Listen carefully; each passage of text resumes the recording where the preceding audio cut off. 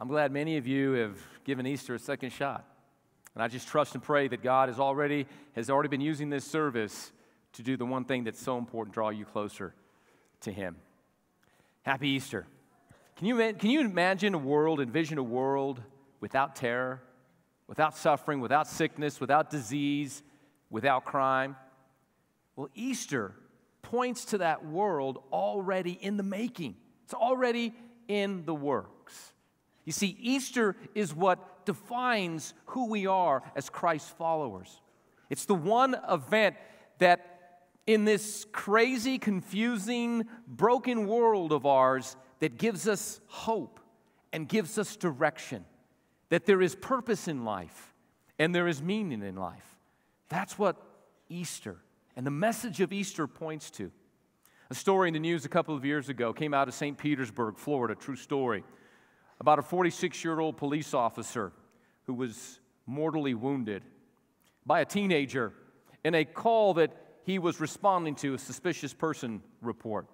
The officer's death, of course, was devastating to the community of St. Petersburg. Why? Because that was the third officer within that same month who had fallen in the line of duty.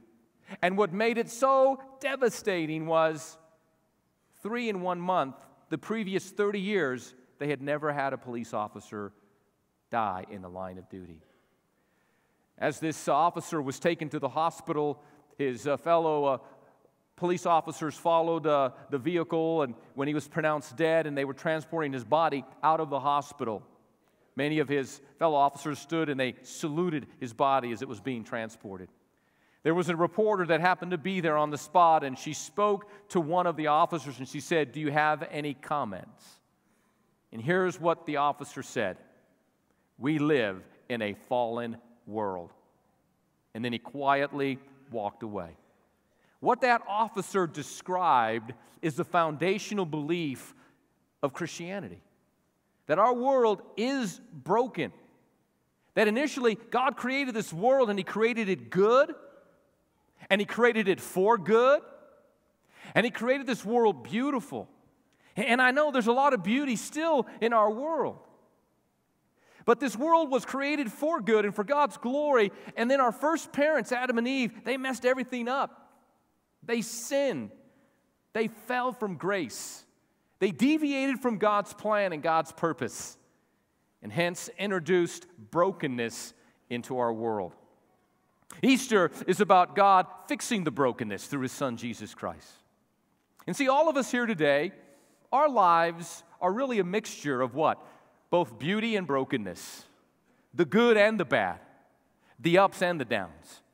And hopefully today in your life, there's more beauty than brokenness, there are more ups than downs, and there's more good than bad. But that's the world that we live in. Allow me to illustrate this. Let's say that all of you were given a piece of paper when you came into church today. And I ask you to pull out that piece of paper, and I want you to draw a vertical line down the center of that piece of paper. And I want you to put two headings. In one column, I want you to put the heading good. And the next column, I want you to put the heading bad.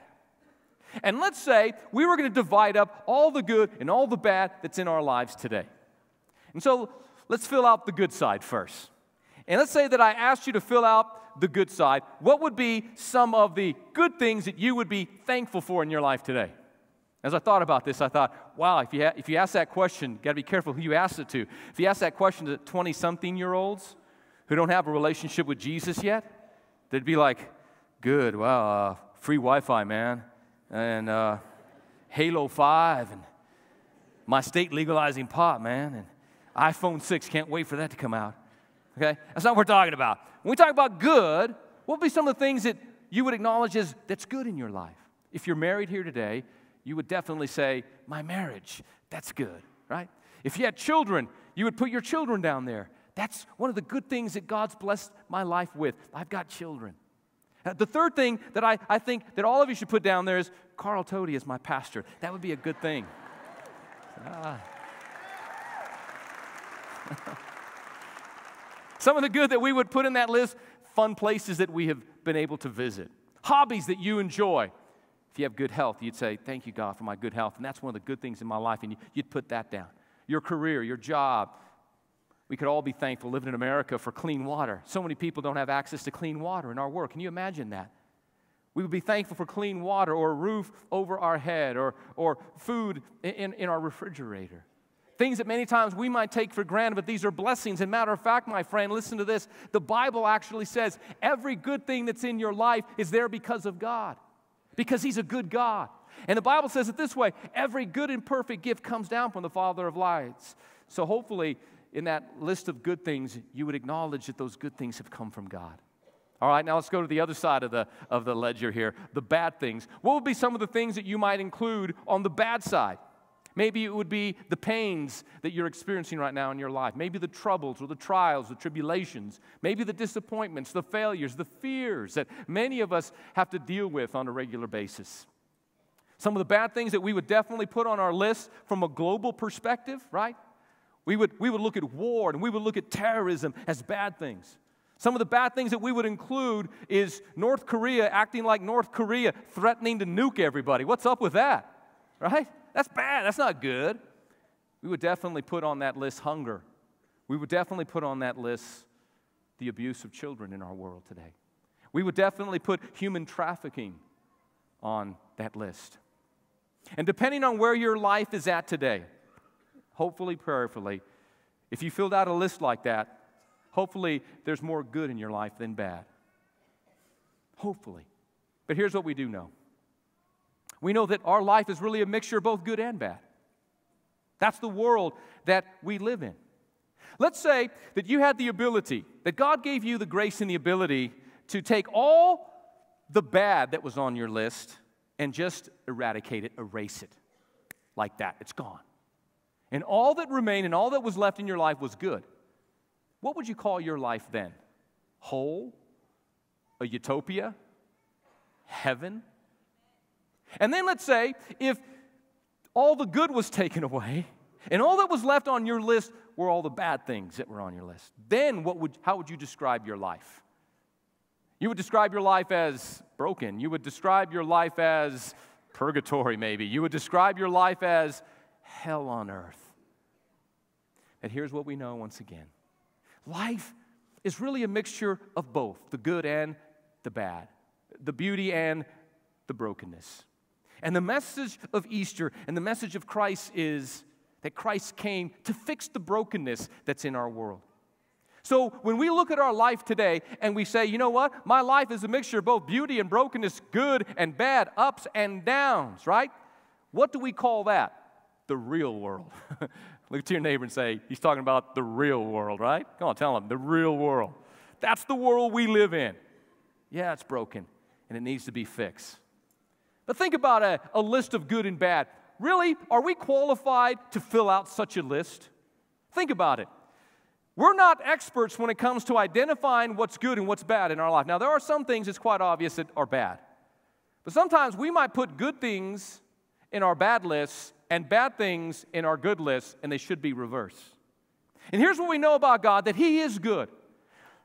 And if we love Him, and if we turn to Him, and if we serve Him, here's what we know He has the power and the ability to take all the stuff in our life, good and bad, beauty and brokenness, ups and downs. And somehow, some way, when we trust Him, He's able to use it for His glory and for our good.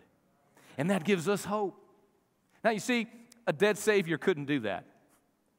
A Jesus whose body is still buried somewhere in Israel couldn't do any of that.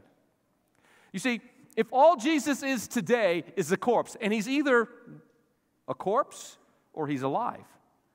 He's either dead and buried somewhere in Israel, and one day they'll find his remains, or he's where he said he would be, and he's where his followers for centuries have said he is, seated at the right hand of the Father. It's either or, it can't be anything in between. You're either dead or alive. How many of you know that? Look to the person next to you and say, Which one are you? Go ahead. it is Easter Sunday. We're all alive. We'll see next week. Dead or alive? Jesus is either dead or he's alive. If he's dead, that's a game changer.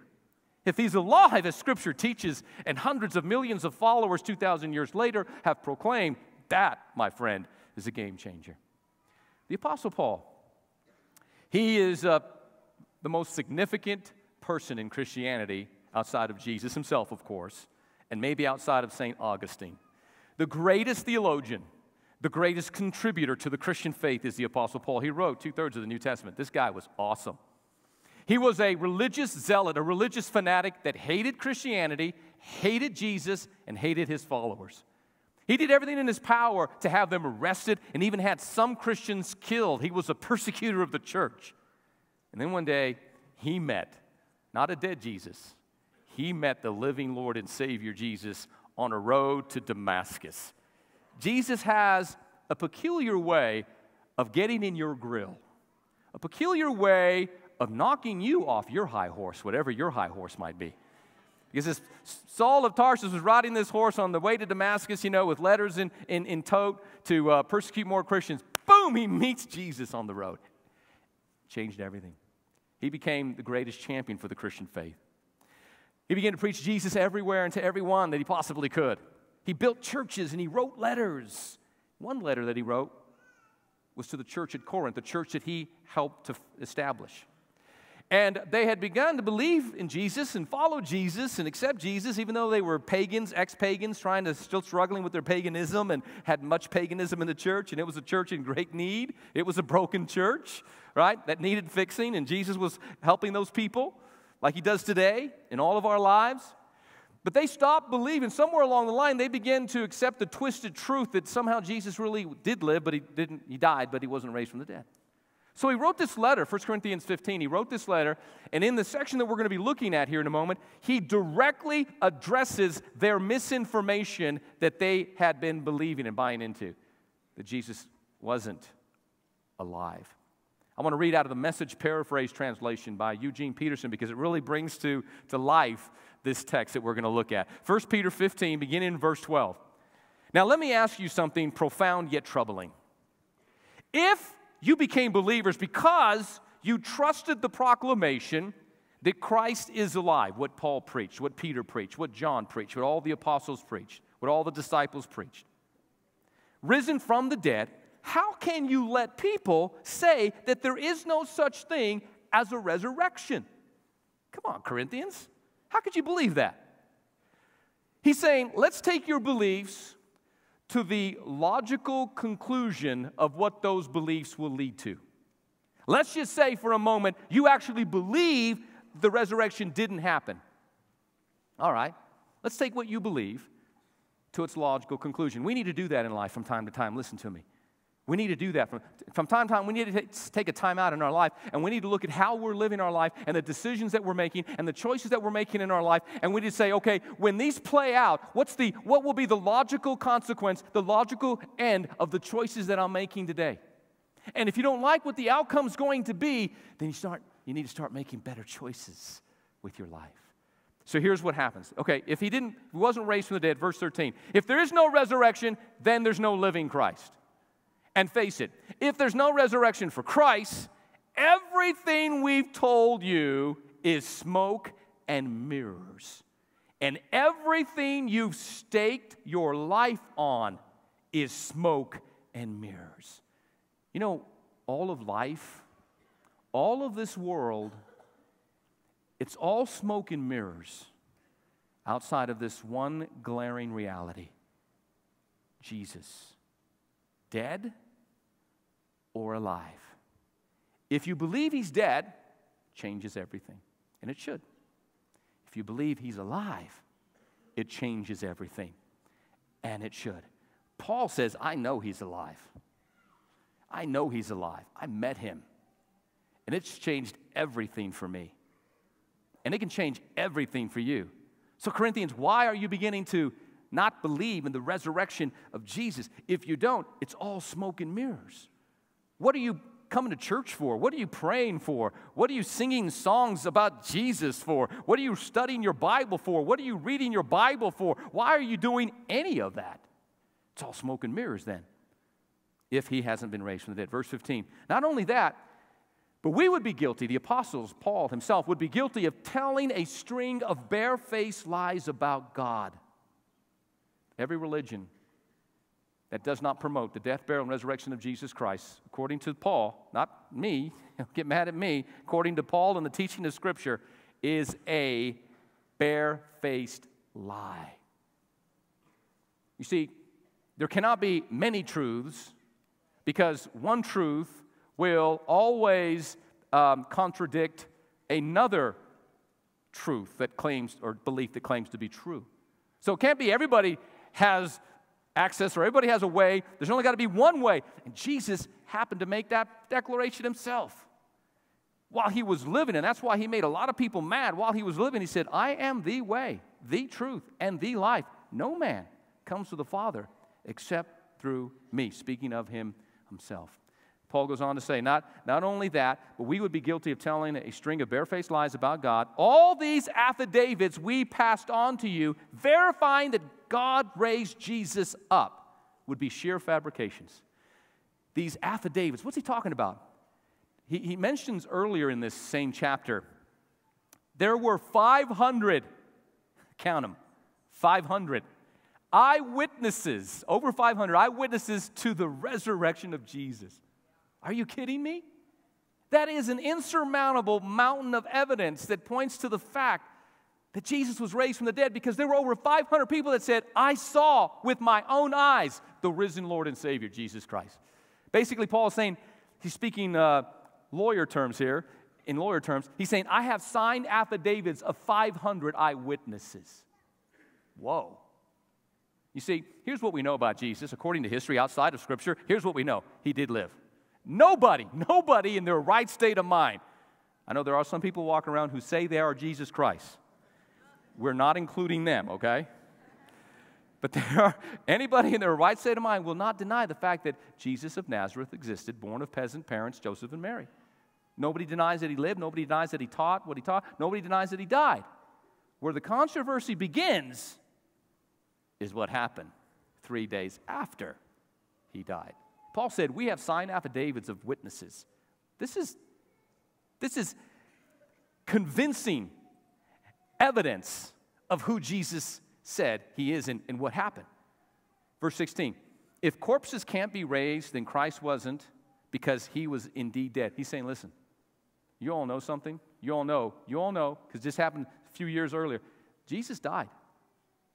You see, as he hung on that cross from 9 in the morning till 3 in the afternoon, six grueling hours, he became sin for the whole world. This sinless, sunless, sinless, spotless Son of God became sin for the whole world. He died. He breathed his last breath and he said, It is finished.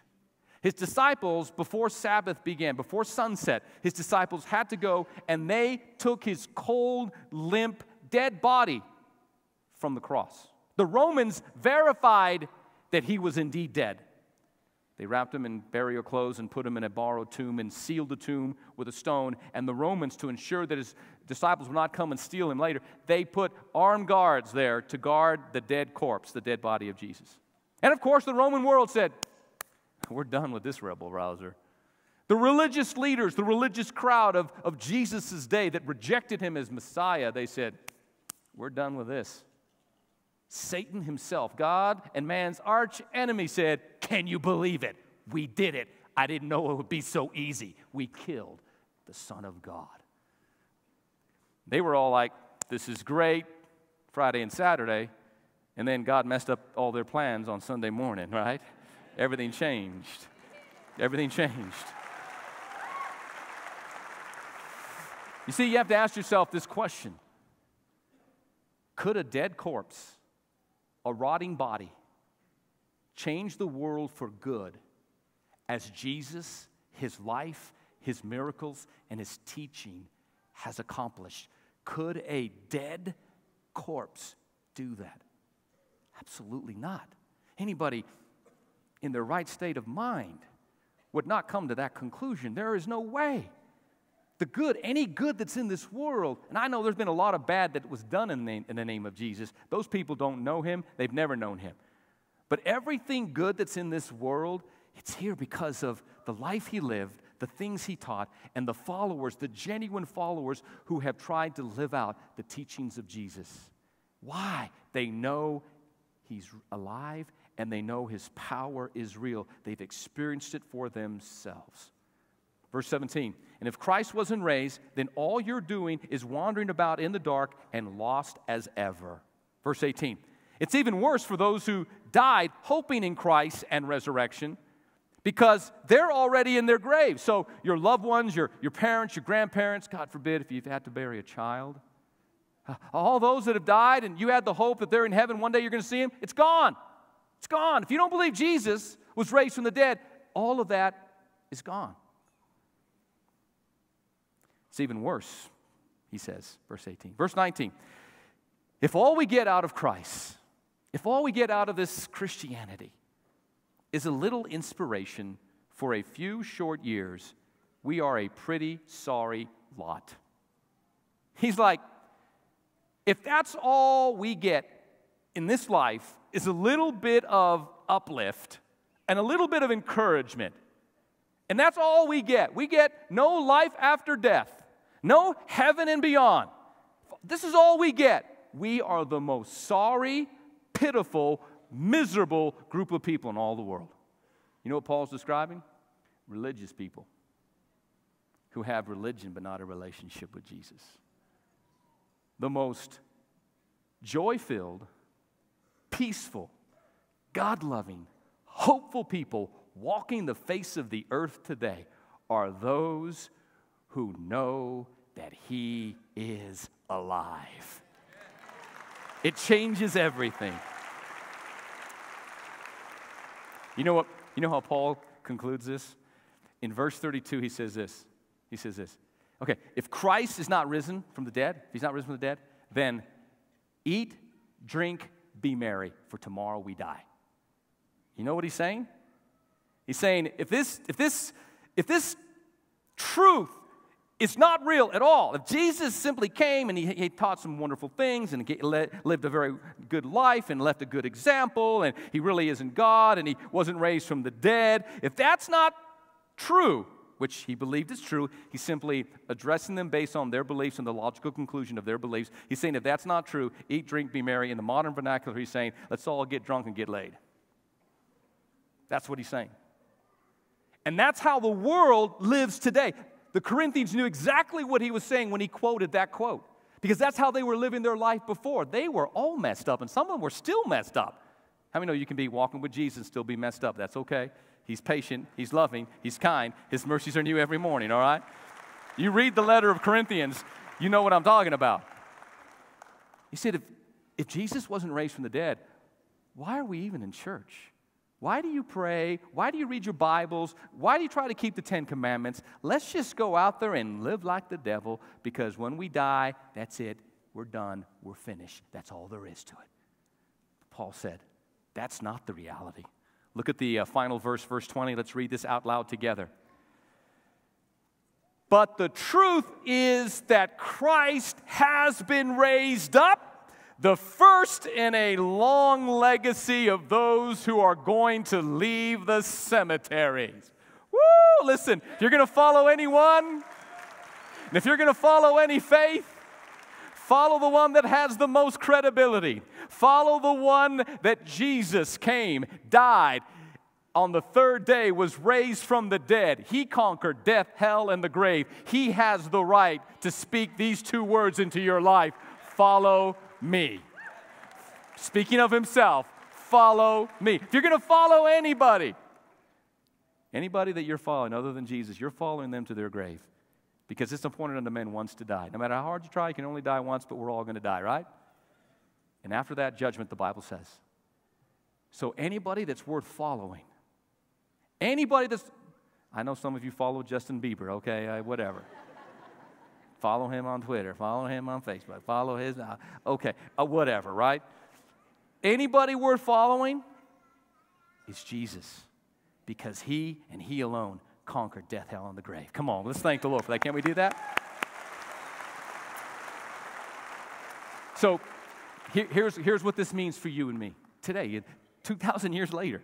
It's still real today if you choose for it to be real in your life.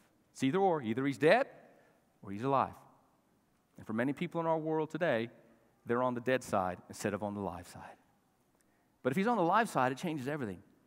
It, it, it brings three powerful truths in our lives, three things that we can respond to concerning the Easter message. We can trust like we've never trusted before, we can follow like we've never followed him before, and we can obey him like we've never obeyed him before because we believe that he's alive. See, we can trust him.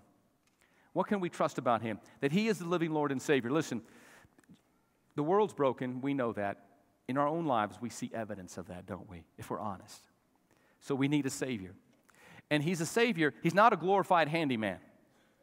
Sometimes we, I think we would prefer to have a glorified handyman Savior. You know what a handyman? Oh, excuse me, I want to be gender neutral. A handy person? You know what a handy person is? Handy person is somebody when you need when you're in a jam and something's broken and you can't fix it, you call the handy person and they come, they fix it, you say thanks, you pay them, then they leave. You're like, see you later, hope I never have to call you back. That's the kind of Savior that a lot of people want. They, they want a 911 God. When I'm in trouble, you're there. When I'm not, I got things under control. Thank you very much. But that's not what Jesus is. He's not a, he's not a handyman Savior. This past week, my wife came to me. She said, We need to call a plumber. I said, Why? She said, Our shower head's leaking. I'm like, I got it. I'll take care of it. So she had to go uh, run some errands that day. So I said, I'm going to fix this before she gets home. So I got on YouTube. And uh, I said, How do you fix a leaky faucet? I Googled and boom, there, the guy, there's a video. He's, he was awesome, right? He said, This is real simple. Here's the first thing you do shut off the main water valve. I'm glad he told me that. So I shut off the main water valve.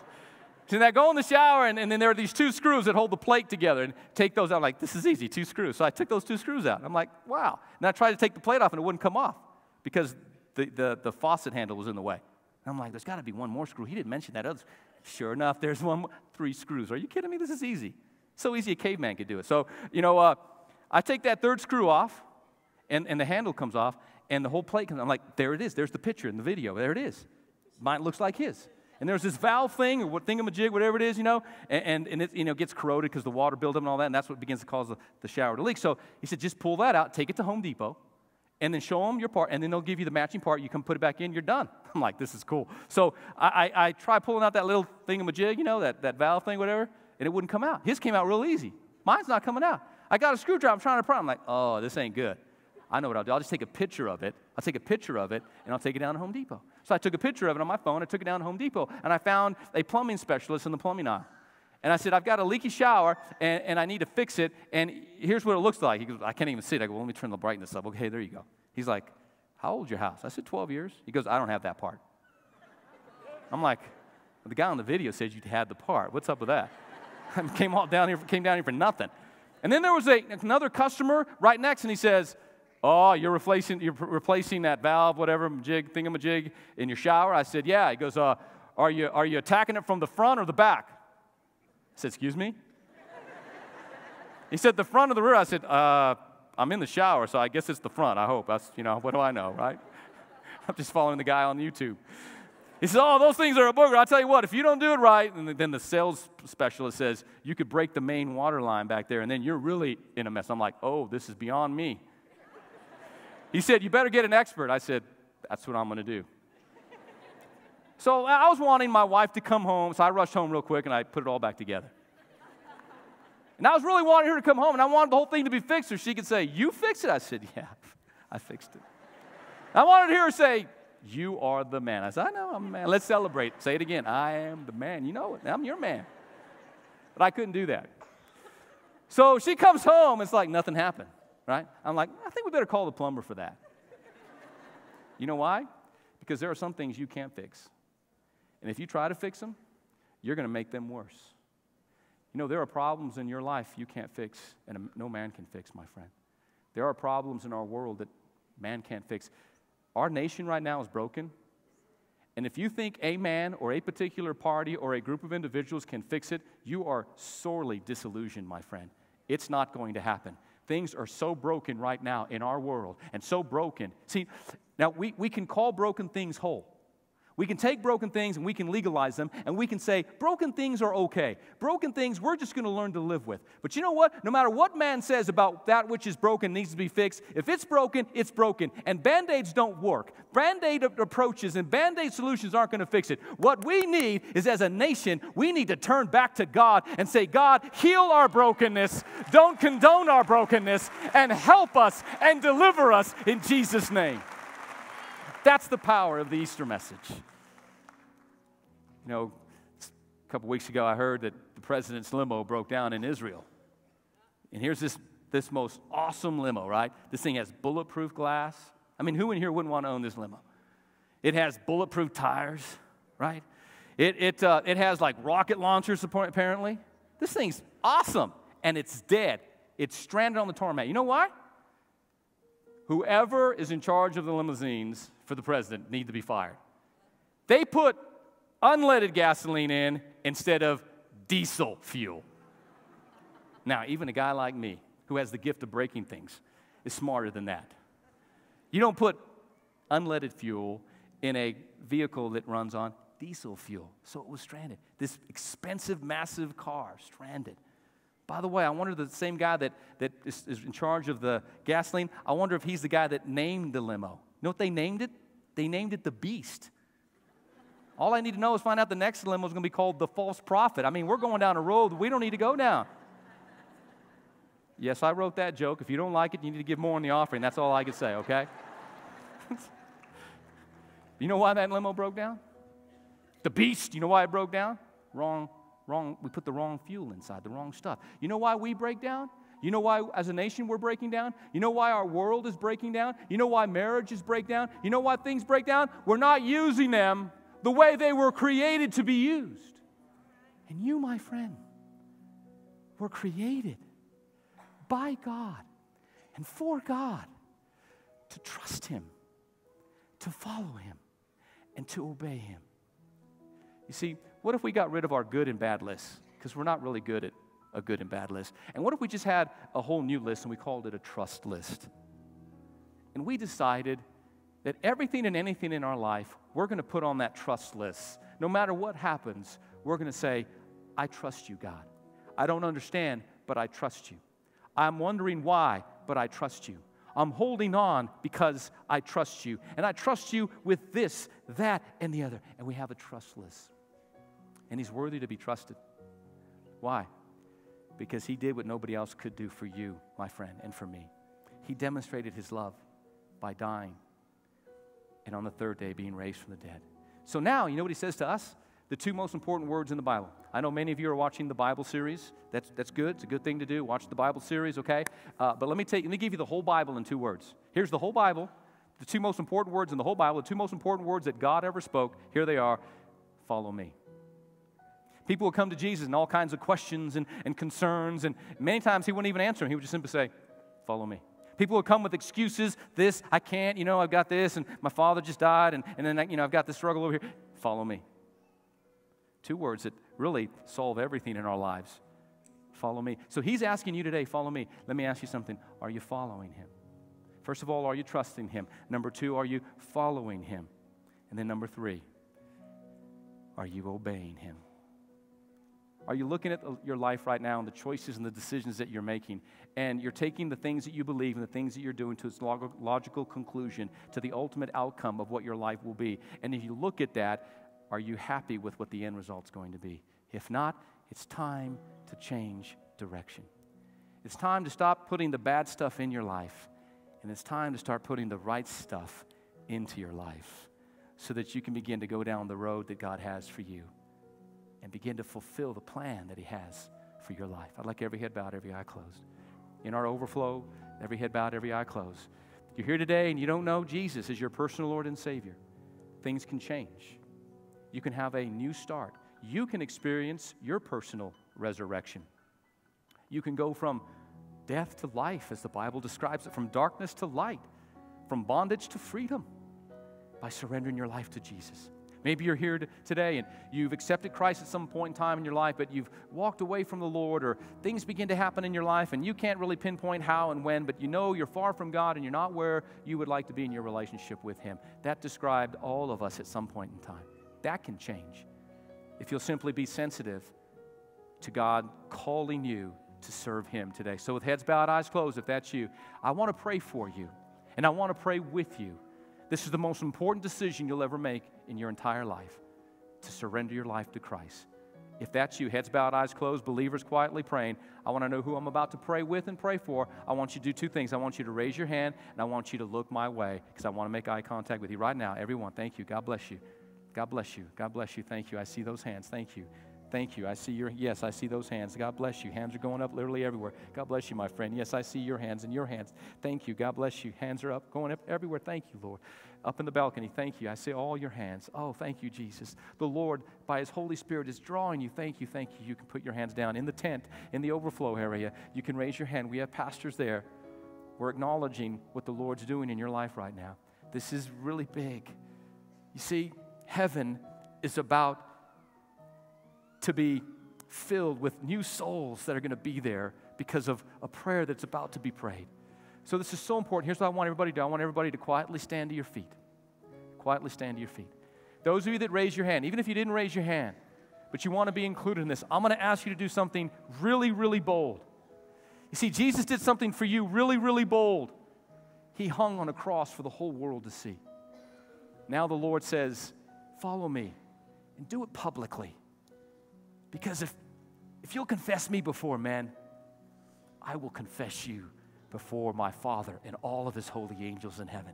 There's something about making a public demonstration of what God's about to do in your life. So here's what I'm going to ask you to do something bold and courageous. I'm going to ask you if you raise your hand, even if you didn't. I want to meet you, I want to pray for you, and I want to do it right down here at this altar. Jesus said these words He said, All that come unto me, I will not push away, I will not cast away. There has never been a sinner that's come to Jesus with a broken, repentful heart that he has said, Nope, heaven's full, can't take any more. Nope, you're not the right size, you're not the right color, you're not the right this, you're not the right that. There's no one that he sent away. All that come unto him, he gives freely, the Bible says, to drink of the water of life. And he said, If you drink of this water, you will never thirst again. A religious man came to Jesus one time by the name of Nicodemus.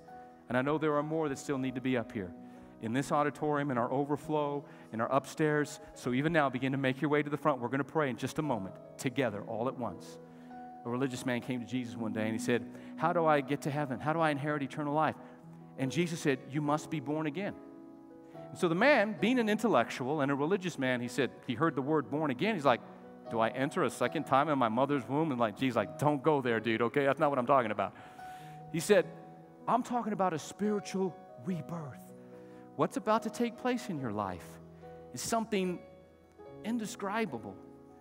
You're going to become a brand new person on the inside. Listen, religion, religion and Christianity are not the same. Christianity is a relationship, it's not a religion. We can make it into a religion, but it's a relationship. And here's what religion does religion tries to change us from the outside in. Don't do this, don't do that, go here, don't go there, wear this, don't wear this. It tries to change us from the outside in. Here's what Christianity is about Jesus changing us from the inside out. Hallelujah. And here's what the Bible says. Revelation 3:20. The last book of the Bible it says this. Jesus is talking. Behold, I stand at the door and I knock. And if any man hear my voice and open up the door of their heart, I will come into them and I will have fellowship with them and they will have fellowship with me. Jesus, in this service today, was knocking on the door of your heart. And guess what you've just done? You have opened the door, you've answered the call, and now Christ is going to come into your life. What we're about to do is also in the Bible. Romans chapter 10, verse 9 says this If you'll confess with your mouth the Lord Jesus and believe in your heart God raised him from the dead, here's the promise of Scripture you will be saved, period. Listen, you don't have to go to church to be saved. You don't have to be water baptized to be saved. You don't have to read your Bible to be saved. All those things are good. All those things are commands in Scripture. Only one way to get saved surrender your life to Jesus. And we're going to lead you in that prayer collectively as a church. Because everybody that's not up here, at some point in time in our life, we've, we've done what you're doing right now. So let's pray this together to God. Dear God in heaven, I know I'm a sinner in need of a Savior. There's only one Savior. His name is Jesus. I call upon you, Jesus. I ask you now, come into my heart, come into my life, be my Lord, be my Savior. I turn from sin.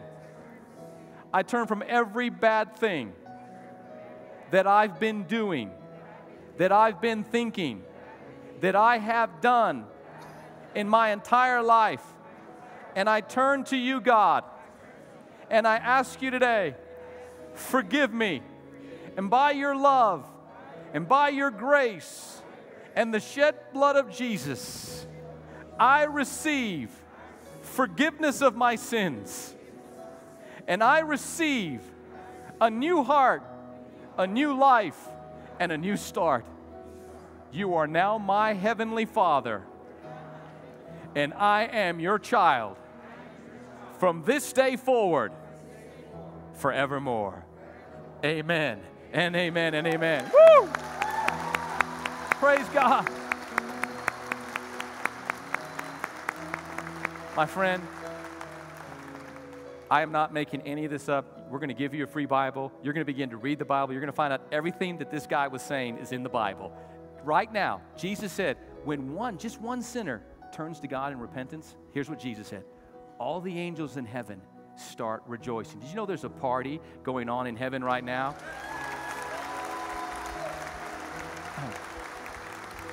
That's biblical, that's true.